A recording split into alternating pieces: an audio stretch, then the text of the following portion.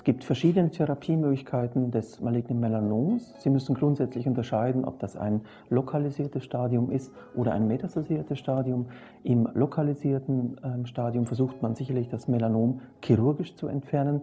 Ähm, ist das Melanom systemisch geworden, heißt hat es ähm, Metastasen gegeben, ähm, gibt es vier verschiedene Möglichkeiten. Man kann entweder versuchen, auch wenige Metastasen chirurgisch zu entfernen und sind sehr viele Metastasen, so versuchen wir das Ganze systemisch zu behandeln, entweder über Chemotherapie, über Immuntherapie oder über neue zielgerichtete Therapie, die an ganz bestimmten Signalwegen ansetzen.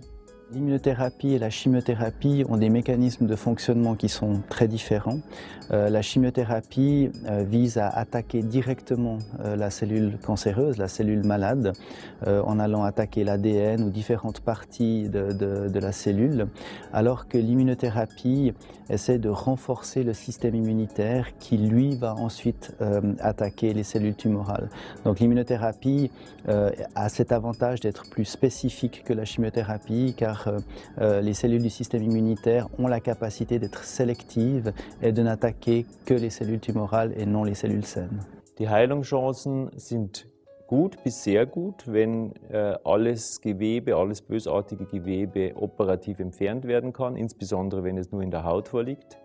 Schwierig wird es, wenn Lymphknotenmetastasen auftreten und ganz ungünstig sind die Heilungschancen, wenn Fernmetastasen in inneren Organen vorliegen.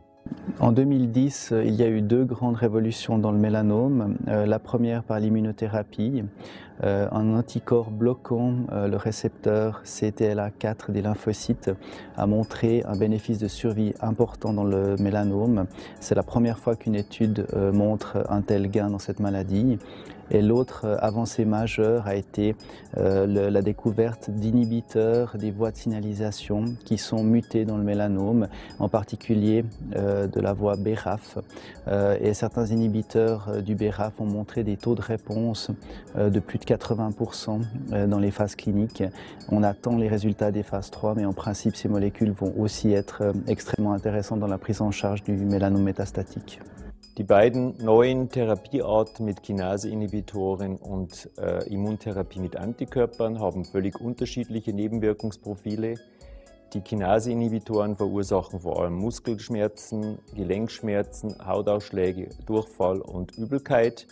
Die immuntherapeutischen Ansätze äh, beinhalten Hautausschläge, Entzündungen an Drüsen in inneren Organen, Entzündungen der Magen-Darm-Schleimhaut, das macht sich mit Durchfall bemerkbar.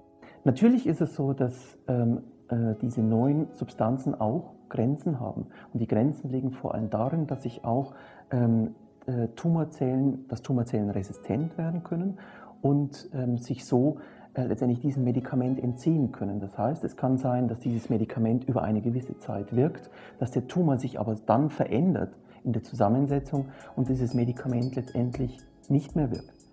Und ist, deshalb ist es ganz wichtig, dass wir jetzt nicht aufhören zu arbeiten, sondern dass wir im Gegenteil, dass wir mehr arbeiten und dass wir versuchen, diese Tumore zu verstehen, wenn sie dann ähm, letztendlich diesem Medikament entkommen.